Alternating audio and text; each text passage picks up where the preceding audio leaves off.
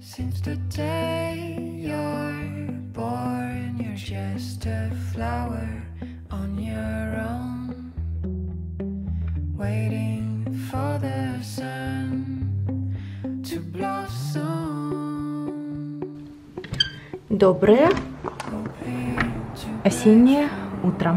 У нас пасмурная погода. И сегодня прям так ух, ощущается холод. Листва чуть-чуть пожелтела, но вообще-то у нас даже зимой может быть зелено. Вот так.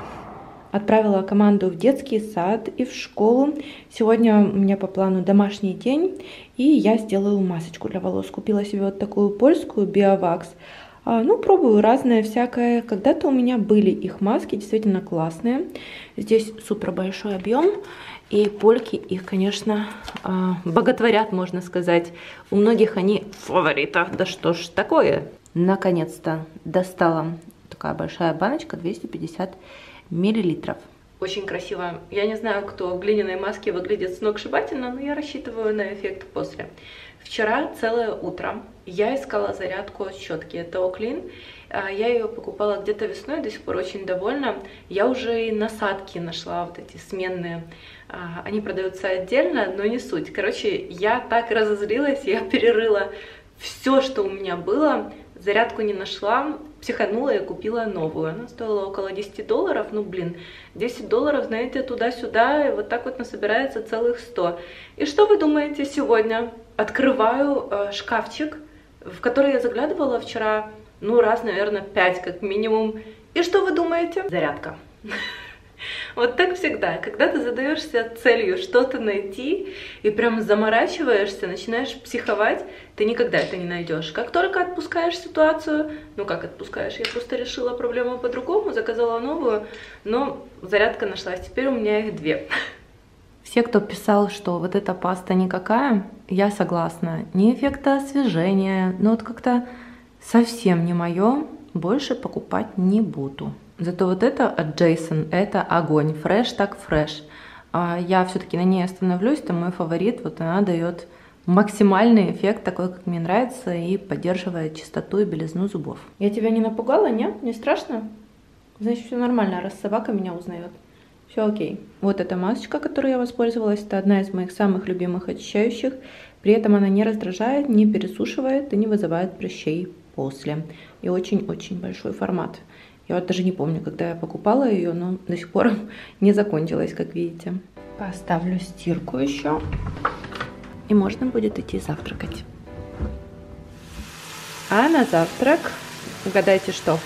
Правильно, яичница с томатами и с разными приправами. В Польше это называют шакшукой. Но, как оказалось, те, кто э, знают, что это на самом деле, как это готовится, делается по-другому она. Я обязательно попробую. Спасибо за все ваши советы. Я уже накрасилась, сейчас еду в город, потому что мне нужно кое-что сделать, ну там такое. А, Зато поснимаю кое-что для вас. Я знаю, что многие были в Кракове, что многие любят Краков. И в этом году так получилось, что у нас очень-очень мало туристов, как в принципе и везде. Так, по поводу масочки. По сути, да, но волосы сами по себе стали такими как бы более тяжелыми в хорошем смысле этого слова. На камере очень редко э, видно, как блестят естественные светлые волосы от природы. Но я думаю, что даже сейчас заметно, что они как бы стали поздоровее. Также на упаковке написано, что ее нужно использовать на протяжении нескольких дней, от 3 до 5, для того, чтобы заметить э, какой-то эффект. Поэтому я не говорю ей нет, потому что, ну вот, какие-то такие приятные по ощущениям волосики стали.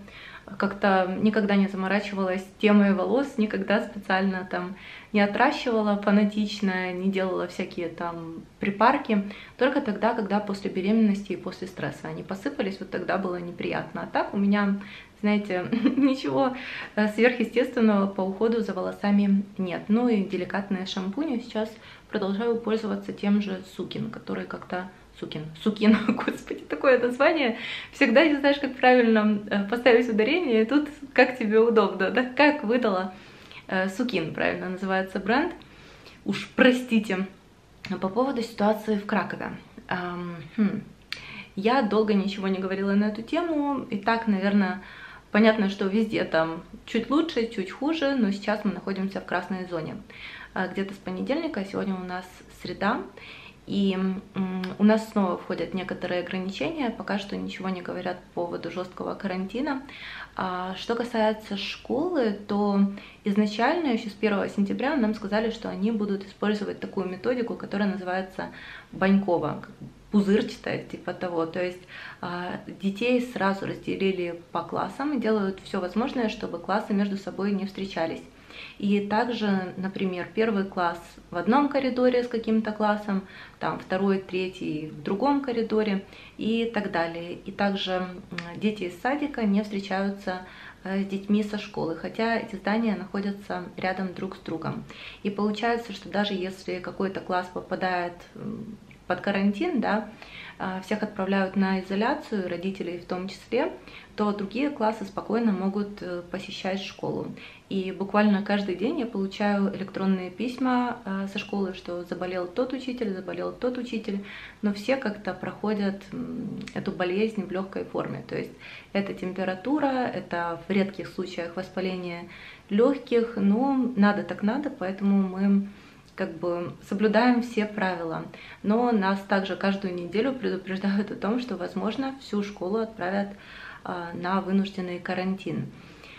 Ну, ситуация такая, знаете, для первоклашек необычная, потому что, во-первых, дети пошли впервые в школу, да, а если еще переведут на онлайн обучение, будет не очень прикольно, потому что это отбивает всю охоту.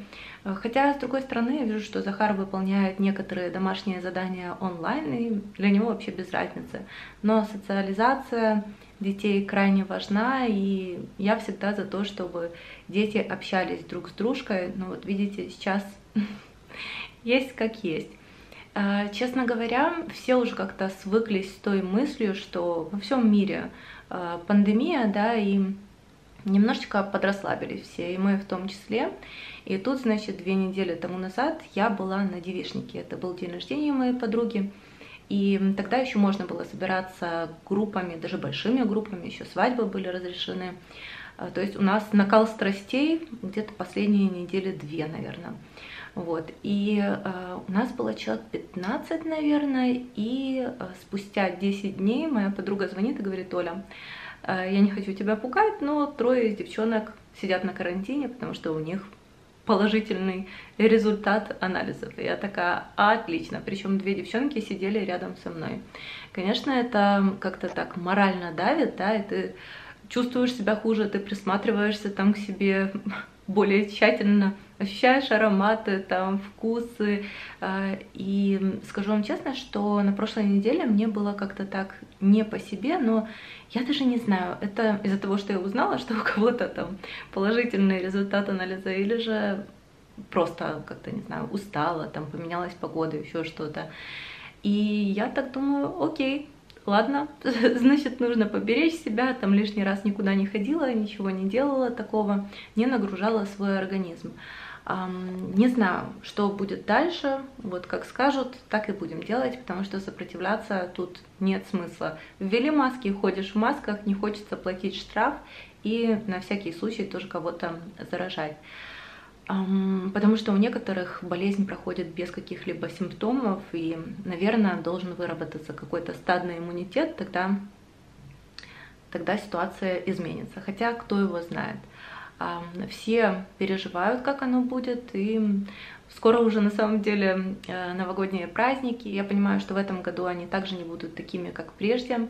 Мы всегда устраиваем святой вечер и приглашаем родителей Томака, там брата. Э, с ребенком не получается, потому что брат с женой со своей бывшей в разводе, поэтому дочка всегда приезжает, то есть двоюродная сестра наших мальчишек приезжает на второй или третий день к нам. Моя мама, скорее всего, не прилетит, потому что карантин для украинцев обязателен, и она должна сидеть две недели здесь где-то. Где-то это у нас, и нам тоже садится. Ну, не знаю, стоит ли это празднование всего вот этого. Пока что мы не рассматриваем такие варианты, к сожалению. Я настолько рада, когда приезжают с моей стороны родственники. Это так красиво, так душевно, так по-семейному. И у меня, вы знаете, тоже небольшая семья, в принципе, у нас тоже папа ушел пять лет тому назад, поэтому мне вообще так хотелось, чтобы в этом году приехала и мама, и брат с женой. И мы даже думали о том, чтобы пригласить родителей жены моего брата, чтобы у нас прям было, знаете, такое максимально семейное торжество. Тетя моя приезжала в прошлом году. И также где-то месяц тому назад ушла из жизни бабушка Томика. Очень жаль, что в этом году ее не будет. А, мы также с мальчишками регулярно ездили к ней. Это их прабабушка получается. Вот. Она была очень старенькая, она, в принципе, чувствовала себя неважно, и она вот говорила, что скорее бы, скорее бы уже. В прошлом году мы ее буквально, вы знаете, посадили в машину и говорим, нет, бабушка, ты нам нужна, приедь. Она всегда очень-очень рада, всегда так, Оля. Спасибо, у нас были чудесные отношения с ней. И в этом году у нас станет еще меньше по этой причине. Вот такая жизнь. Кто-то приходит, кто-то уходит, и на все, наверное, свое время. Блин, решила вам сказать только о маске, а получилось на 13 минут. Ну, я, как всегда, я в жизни такая ля-ля-ля-ля-ля-ля, меня не остановить. Ну все, я поехала, беру с собой камеру и встретимся с вами чуточку позже.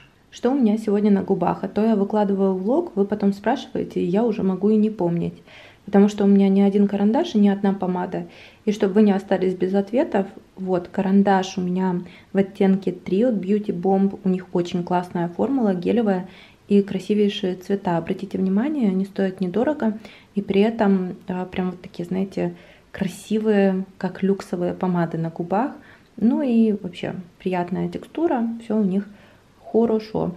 А помада от Estee Lauder, я купила ее недавно, у нас были скидки 20%. Я зашла, крутила и вертела и нашла очень красивый оттенок 401. Это жидкая матовая помада, она стойкая и цвет такой типа как MAC Mare. И хочу вам напомнить, что даже несмотря на то, что с некоторыми брендами мы дружим, иногда мне что-то присылают, я все еще многое покупаю сама. А, вот, поэтому показываю вам свою покупочку. Вот такой дуэт у меня сегодня на губах.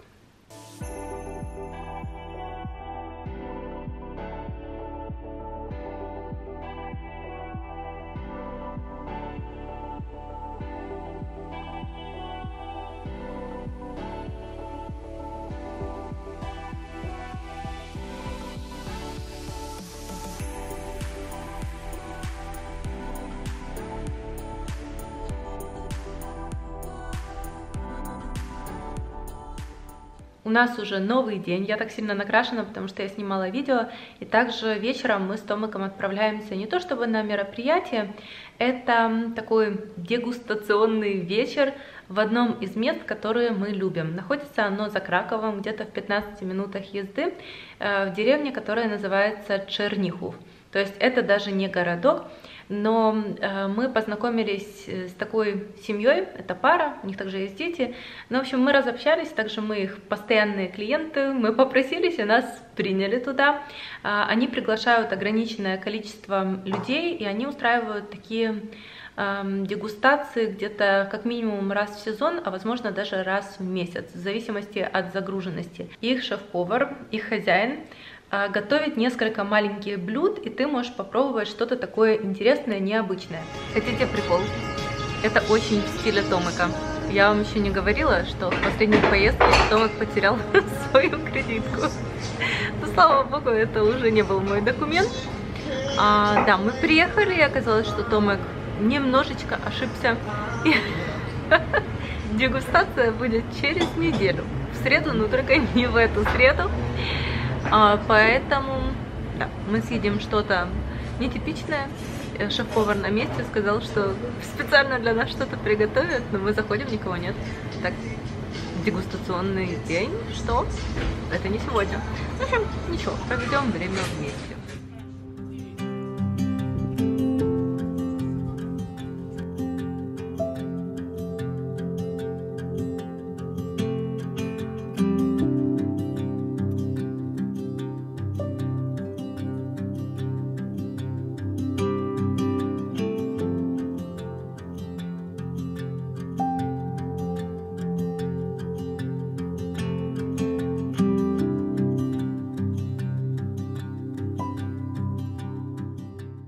Доброе утро. У нас выходной день. День уборки и порядка. И я принесла все носки. Это просто зло, которое нужно сложить. И Игнат хочет поделиться своей системой, как он сворачивает носочки, такие шарики, клубки. Для начала находим одинаковые носки. Теперь засовываем один во второй. Носок в носок. Мика. Мика, ковер мы не грызем. Это понятно?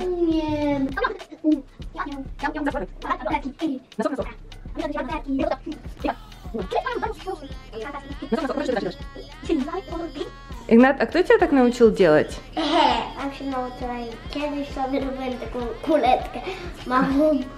Да ты что, сам? Слушайте, ну прикольно. И потом выворачиваешь второй носок. Получается такой шарик. По итогу вот что получилось. Это ты, да, все поскладывал. Это мы влог снимаем тут. С мамой разговариваем. Хорошо, мама уже поможет с остальным. Ну и так, слава богу. Ситуация пустые баночки. Закончился у меня мой любимый крем. Я недавно выпускала видео о любимых кислотах, и там было масса вопросов на тему того, чем восстанавливать кожу после кислоты. Вообще, что-то классное на холодное время. Искали? Вот, есть несколько форм а, разных средств с церамидами от бренда Dr. Jart. И мне больше всего подходит именно крем. Немножко нашего сегодняшнего субботнего дурдома. Закончила тушиться капусточка практически. Если надо вам такие рецептики, то тоже могу делиться. А здесь у меня зразы, ну типа как котлетки, которые я поджарю и потом еще подпеку а, в духовке для того, чтобы они не слишком высыхали на сковородке. И тоже здесь просто свинина, ничего особенного, обычные котлеты. А, я готовила сегодня с утра тыквенный суп. А, я делилась с вами рецептиком в недавнем влоге. У меня осталось немножко тыквы, поэтому я запекла ее. Ау, горячо, горячо, горячо. Ну, короче, там находится тыква.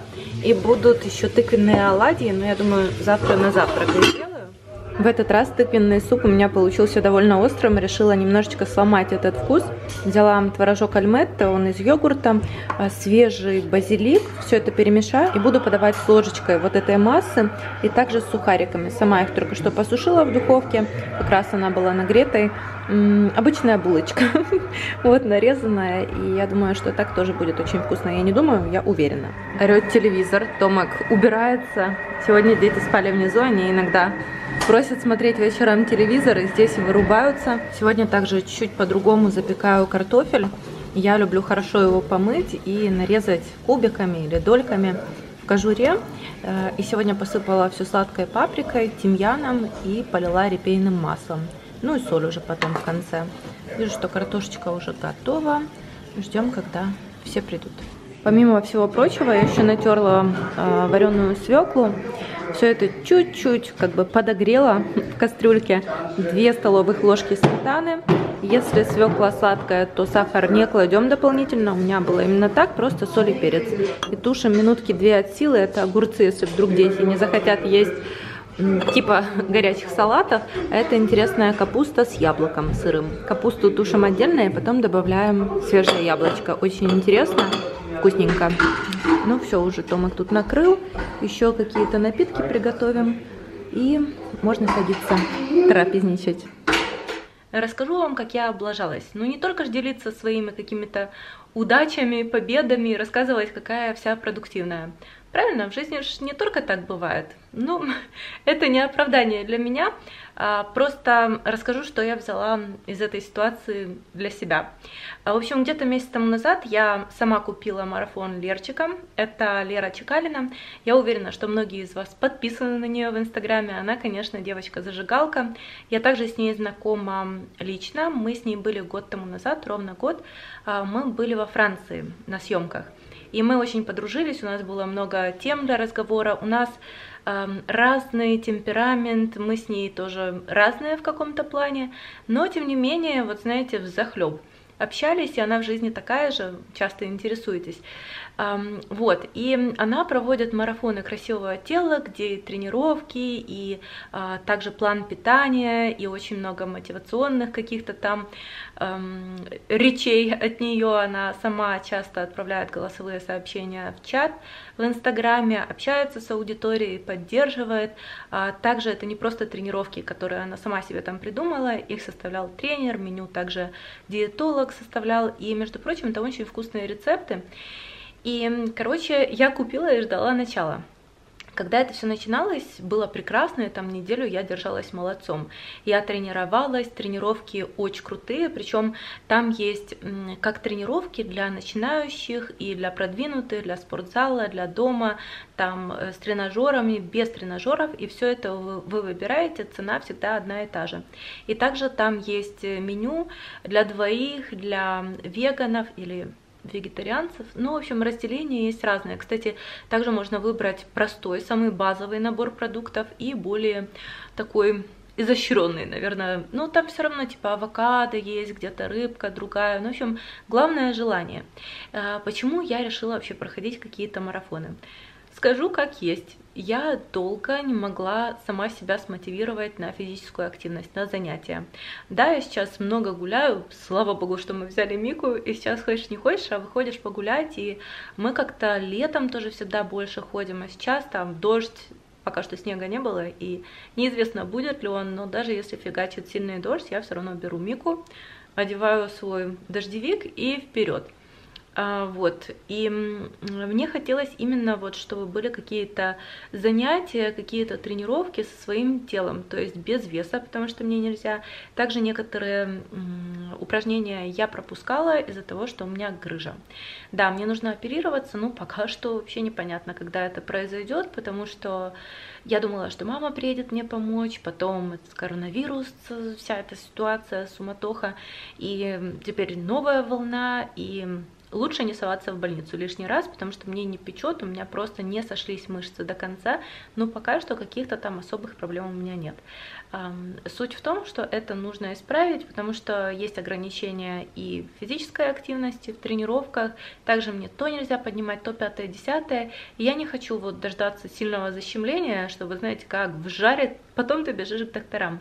Я была на нескольких консультациях, и мне сказали, что лучше это сшить, и так как это все-таки будет шов через весь живот, гораздо больше, чем при кесаревом, поэтому мне хотелось бы, чтобы мне кто-то помог. Возможно, невозможно, сейчас-то невозможно, да, потому что не хочется, чтобы организм был слабый, и чтобы я, не дай бог, там что-то подцепила, поэтому я подожду.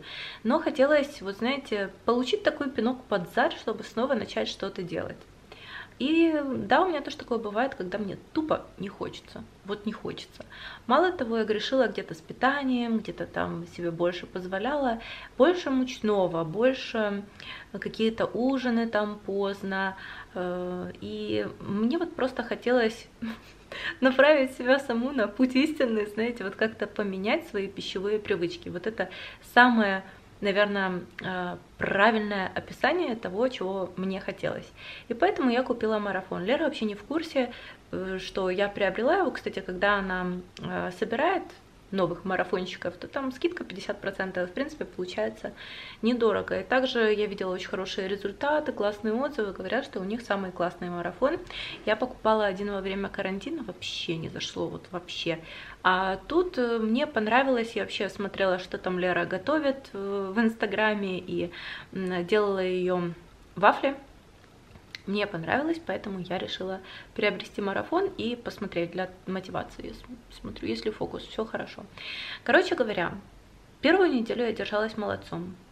Потом у меня было столько работы, что все тренировки у меня сдвинулись где-то к концу недели. То есть, ну, я понимаю, что мне очень сложно делать что-то по графику. Но главное, что я начала. И порой начать что-то гораздо сложнее, чем эм, выработать даже привычку. Вот просто, знаете, встать и начать что-то делать. И для меня марафон в этом плане был, ну вот, такой главной, наверное, мотивацией, да, чтобы стартануть. Потому что я не ставила себе каких-то нереальных целей добиться фигуры мечты, хотя девчонки добиваются, но меня не хватило. Говорю вам честно, что нет, тем более, что Там такие блюда, которые вот моя семья есть не будет, и дети в том числе, поэтому мне сложно было себе отдельно что-то готовить, тем более сейчас так сложилось, что этот месяц как раз был сумасшедшим. Завтра мы с Томаком уезжаем в Варшаву, и послезавтра у нас также дела, и получается, что и мой YouTube канал, еще в Инстаграме я не хочу пропадать, поэтому, знаете, эм, мое хочу и могу не сошлись. Но, тем не менее, я выработала некоторые привычки. Раньше у меня там, знаете, вплоть до того, что э, поужинала поздно, утром просыпаюсь, мне есть не хочется, дальше у меня завтрак в обед, э, и вот так вот, знаете, как-то по кругу вообще непонятный график и питания, и поэтому перекусить что-то на ходу там тоже то получилось, то, то не получилось. На обед я могла съесть хлопья, мне это не нравилось, я чувствовала по себе, что мой организм меня за это ненавидит, поэтому я купила марафон и подсмотрела много интересных рецептов, а, но тем не менее вот просто, знаете, настроилась на какое-то другое питание, на какие-то как я сказала, другие пищевые привычки у меня получилось. И это самое главное, чего я хотела лично э, для себя от этого марафона. Но я уверена, что можно было бы и кубики получить, но в моем случае мне вообще нельзя делать упражнения на пресс там, где задействован пресс, поэтому красивого пресса мне, к сожалению, не видать. Тем не менее, я вернулась к тренировкам, я чувствую себя лучше, я себя не насилую, а и я вам говорила, что я себя не очень важно чувствовала, поэтому где-то там тоже пропустила какие-то тренировки и не корю себя за это, потому что самое главное, что начать. Да, я тоже собиралась пойти в спортзал, но их у нас снова закрыли, поэтому не очень сложилось с этим, а я еще хотела купить беговую дорожку. И вот я думаю, а, куда-то подевать это кресло мое, блин, нелюбимое, потому что оно меня прям аж раздражает. Сама история покупки мне неприятная, оно каждый день мне напоминает об этом. И думаю сюда поставить беговую дорожку, будет больше пользы, потому что сейчас у нас это просто, знаете, такая лежанка, на которую мы складываем все вещи. Вот пришел, разделся, бабах а, не прикольно получается. Так что, хм, не знаю, возможно, купим э, эту беговую дорожку, потому что на улице бегать я не могу. Во-первых, я э, боюсь, у нас здесь не везде освещение есть. А во-вторых, ну как-то мрачновато. Я вообще не люблю темноту. Если это не где-то там, знаете, в людном месте, я не люблю бегать, а вдруг там, не знаю, ну, ничего такого у нас на районе не происходит, но тем не менее мне некомфортно. Я тоже без музыки, если бегу, то я шугаюсь всего, а если с музыкой, то мне еще страшнее. Ну, в общем, ездить куда-то бегать это тоже не вариант, я уже пробовала, не работает. Не работает, как говорит мой Томак. Да, на этом я потихонечку буду заканчивать. Еще вечером покажу вам, а, как Захарка делает домашние задания, потому что это вообще кардинально отличается от того, что было в моей юности, в моем детстве. Не знаю, не знаю, хорошо это или плохо, но раньше просто было по-другому. У нас пока что достаточно тепло, но совсем скоро, через несколько недель, нужно будет укутывать розы и вообще готовить сад к осенне-зимнему сезону, к настоящему осеннему, холодному. Вот, кстати, наверное, мы к весне будем менять вот эту мебель из Икеи. Томик ее испортил, и реанимировать ее крайне сложно. А, и также мы будем прятать пальмочки. Здесь вот Микины игрушки лежат. Теперь не только детские, но еще и собачьи. Пальмы, алиандры, все это мы тоже прячем в гараж. А еще а, гляньте на наше дерево, как оно разрастается. Каждый год весной мы вызываем садовников, четверо здоровых мужчин приезжают и срезают это все. У меня не хватило бы сил, а у Томика времени, поэтому мы нанимаем людей. В общем, они прилично так посрезали ветки. И гляньте со стороны, кажется, что ствол у дерева очень-очень э, маленький, такой низенький, но на самом деле это дерево посадили еще до того, как строили эти дома, и потом нужно было приподнять э, поверхность, на которой строится дом для фундамента, для всего, поэтому здесь много насыпали. Вот если позаглядывать туда, то э, там камни, и видно, что идет склон. То есть у нас там несколько метров нежилой территории, так сказать, и дерево кажется ниже, чем оно есть на самом деле. А, сейчас я заметила, что у нас очень-очень много где растут гортензии, а, даже в городе, в каких-то общественных местах, а, и также мисканты, это травы. А, я не знаю, сколько они стоят у вас, но здесь они не то чтобы супер дорогие, и они также садятся на несколько лет. То есть мы их под ноль срезаем весной, помните, такие вот торчали палки, и они растут, и также перед поездкой на море я вам говорила, что вернемся, они зацветут. И приблизительно так оно и получилось. И так это уютно выглядит, когда ветерок дует, и они так колышутся, и вообще уютно по-осеннему смотрятся. И вот когда они начинают цвести, то значит, что скоро наступит осень. Жалко, конечно, что в этом году мы особо не грилили, потому что погоды не было. И помните, тоже наши гортензии раньше были белыми-белыми, а сейчас они вот дозрели, сейчас будут засыхать. Они тоже довольно долго еще постоят, такого насыщенного бордово-розового цвета. И у нас с газоном, ну, помимо того, что Мика тут немножечко его это самое, а, у нас еще начали появляться вот такие пятна, на которых трава растет гуще. Непонятно, но мы ничего не досеивали.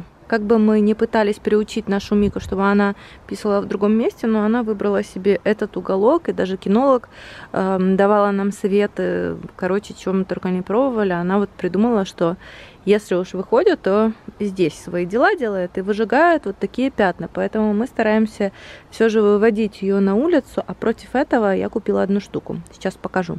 Я слышала, что собакам дают энзимы, чтобы не было таких проблем. Мы пока что не пробовали. Я нашла с хорошим составом на iHerb. Не дешевая вещь, но если это будет работать и не в ущерб здоровью собаки, то я думаю, что имеет смысл попробовать. Я сама иногда принимаю энзимы, и мы пока что не пробовали, но если вдруг это спасет наш газон, то я потом обязательно вам расскажу, а сработало или нет. Ну, видите, вот здесь явно такая же проблема, как у нас.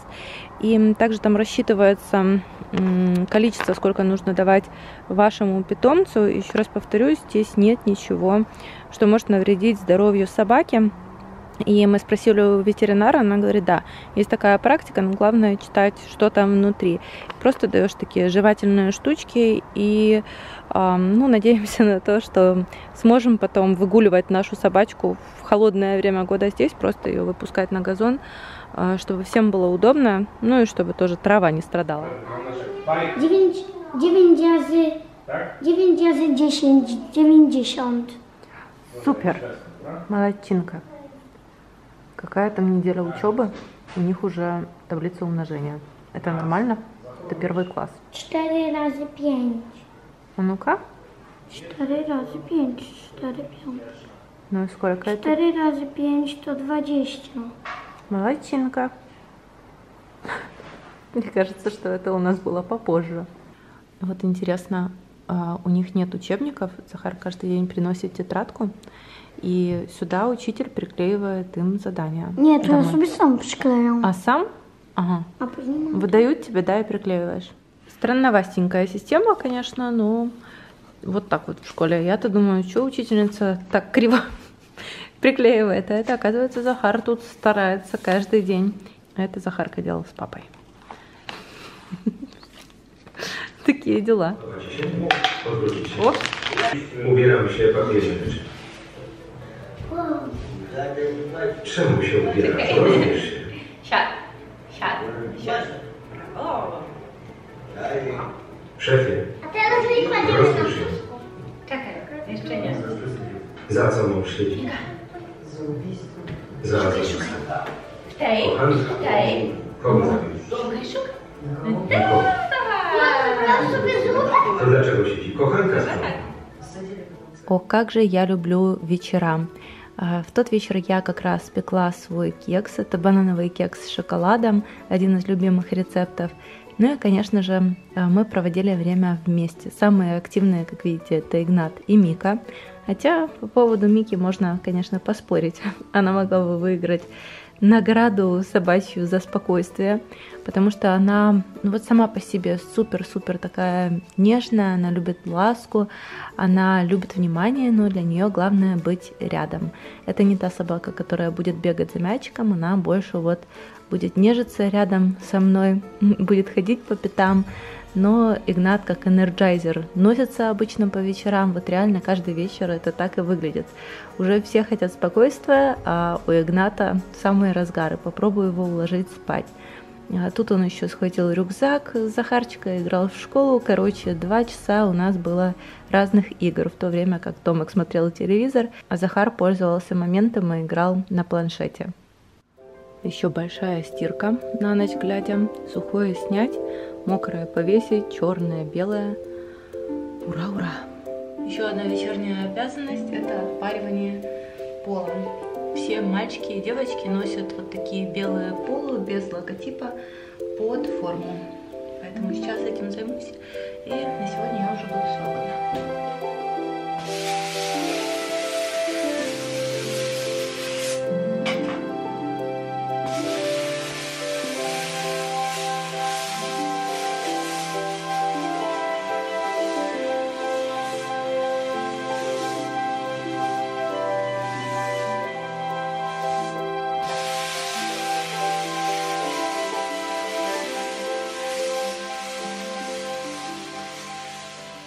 Лапа не приемлет какие-то лежанки. Одну она растерзала, довольно прочную. Но ей очень-очень нравился ковер в моей комнате. И я решила, что пожертвую для нее свой коврик, и она здесь спит. Голову держит на бетоне, ей это не мешает. Спокойной ночи, малыши. И она здесь спит целую ночь, не ходит, ничего не ищет, кайфует. Спасибо, что вы провели этот влог со мной. Не забывайте поставить пальчик вверх. Я всегда искренне благодарна вам за вашу поддержку. А на этом будем прощаться. Я иду мыться и отдыхать. Завтра тоже сложный день, а, очень-очень насыщенный. Не знаю, буду снимать влог или нет, но в любом случае увидимся позже. Пока-пока.